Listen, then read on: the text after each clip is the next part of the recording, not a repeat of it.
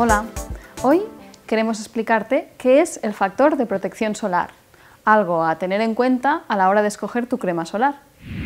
Te habrás fijado en que todos los protectores solares llevan asociado un número, un índice de protección.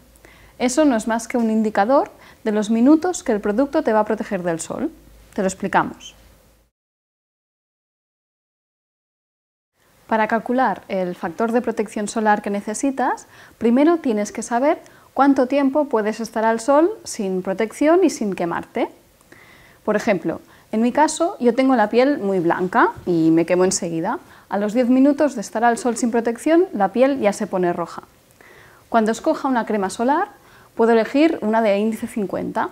Esto significa que estos 10 minutos se multiplican por 50 aumenta 50 veces el tiempo que puedo estar al sol. En lugar de estar 10 minutos, teóricamente podré estar al sol 500 minutos sin quemarme.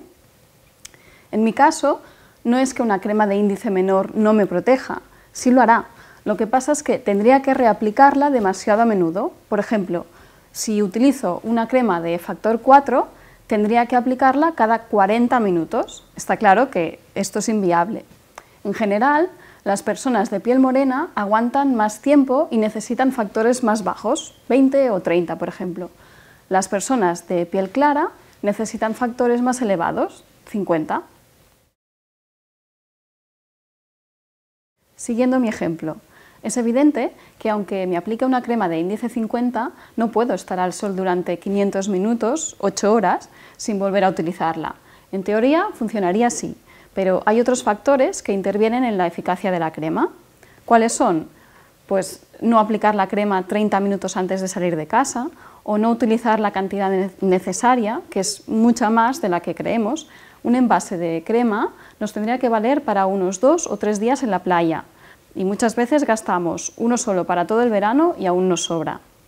Otro factor que también influye en la eficacia de la crema es el sudor. Los baños en el agua o el roce con la ropa, la toalla o la arena.